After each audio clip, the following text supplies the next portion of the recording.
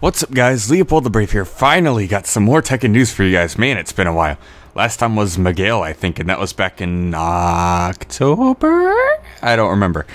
Um, but, anyways, the King of Iron Fist tournament just happened, I think, or some other tournament. I don't know. I'm not really into the tournament scene that much. I mean, I do watch tournaments sometimes, but I don't pay attention to the names. I'm just like, oh, professional matches.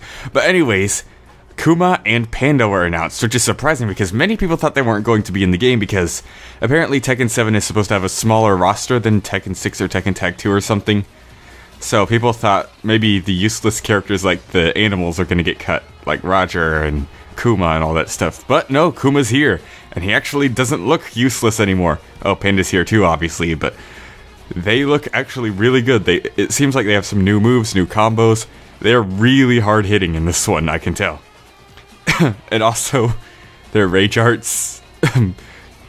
Akuma hits them with the fish, like the scout from TF2. So that's kind of funny. But yeah, their custom items also look really good. They have lots of variety in their customization. Because I was disappointed in Tekken 6 and Tekken Tag 2 how how little you could do with the bears. So it it's kind of refreshing to see them have lots of stuff you can give them in customization. Oh, and also, Panda has a different rage art from Kuma.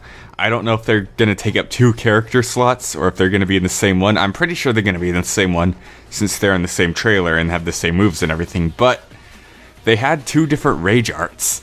So if other characters with two slots, what if other characters with two slots have two different rage arts? Like, we didn't see Lee's rage art in his trailer, we only saw his rage drive. So maybe Lee and Violet have different rage arts and they just didn't show it in the trailer for some reason. I don't know why. But maybe Lee and Violet have something different, even though they're the same character.